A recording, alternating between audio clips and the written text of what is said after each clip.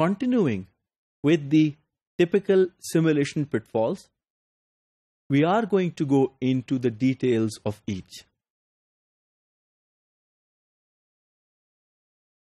To begin with, let's look at the inappropriate levels of details that we either pass or deny for the simulation implementation. It is important to include all the details in the model which are relevant.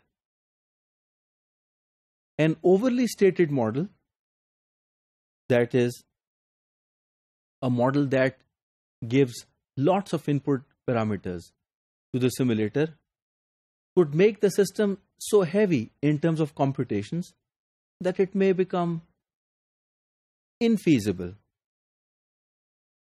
If we include a lot of parameters, these parameters would have a correlated effect and could actually make the interaction so complex that the simulation output becomes useless.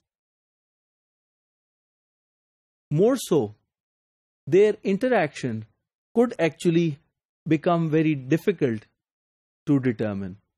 Sometimes it becomes very hard to know if there are more than, let's say, mm, 50 parameters. What is the relationship of, say, more than 10 parameters with each other? Maybe it is trivial. Maybe it is non trivial. So the thumb rule is always include what is necessary and do not miss out on what has to be sufficient simulation. If you want to visualize it in terms of a simulation of one hop communication scenario, there are so many things that we just obviated when we looked at the modeled inputs and the simulated outputs. What were those? We never considered what is the operating system, iOS, working on the router or the access point. Similarly, we didn't consider what were the machines. Were these i3s, i5s, IBM machines, or Dell computers? Why? Because the types of uh, uh, platforms and the operating systems are supposedly irrelevant to the one hop communication scenario that you wanted to simulate. The choice of the programming language is really critical to the success of a simulation. For example, the two well-known classifications of programming languages, which is procedural language and object-oriented language, each have different implications on the simulations that you wish to perform. The procedural language is limited in terms of encoding and implementing the data structures and the conditions within the main body. Similarly, if there is a requirement to include certain libraries from the outside, in procedural language, this may have a toll on the overall time complexity of the program. So generally we switch over to the object-oriented programming paradigm. The object-oriented pro programming paradigm encourages modularity. So for one hop, one hop communication scenario, depending upon the kind of inputs and outputs you wish to choose, you can either opt for a procedural language or you could go for an object oriented implementation. For a tangible and purposeful simulation, I actually recommend, and we shall see shortly, use object oriented simulation environments. Another classification that exists is on the basis of the kind of program compilation or interpretation you wish to perform. The compiled languages have their own effect on the simulation because unless the program is fully compiled, you can't see the behavior.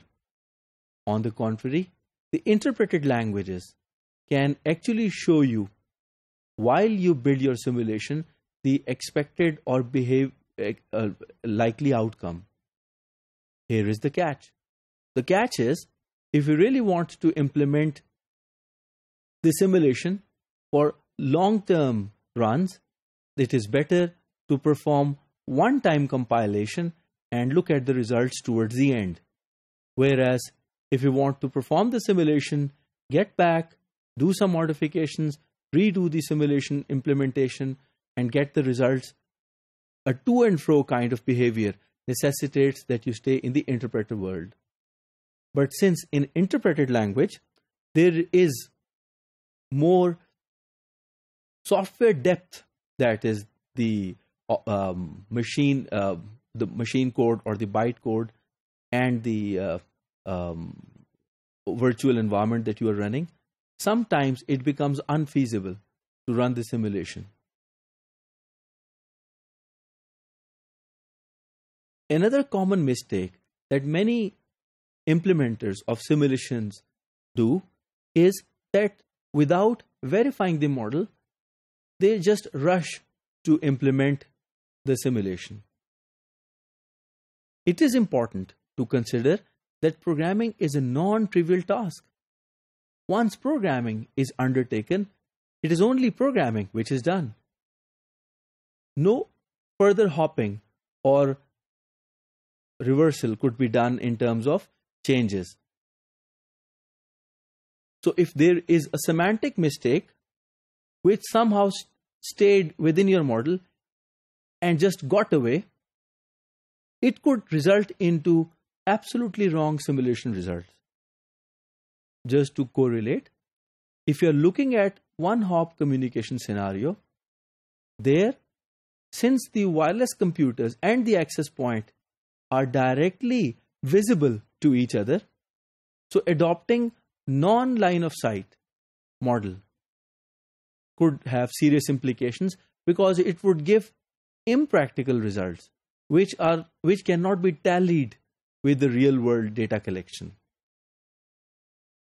So, in order to verify, it is important to go step by step to verify that each module is correctly to be simulated. Another important consideration is many people just take the initial conditions for granted. It is important to note that these are the initial conditions which determine the uh, steady state.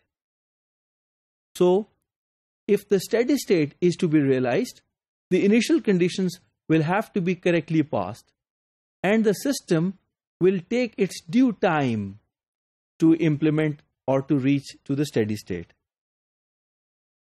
Surprisingly, some people argue that the system must converge or must reach the steady state with the initial conditions given. So, it is important to understand that these input parameters that you give could have an effect on the uh, time it takes for the system to enter the steady state. If the simulation is run for a very short time, it means that the system is highly influenced by the initial conditions just given to it. And the simulation was not given enough time to reach the steady state.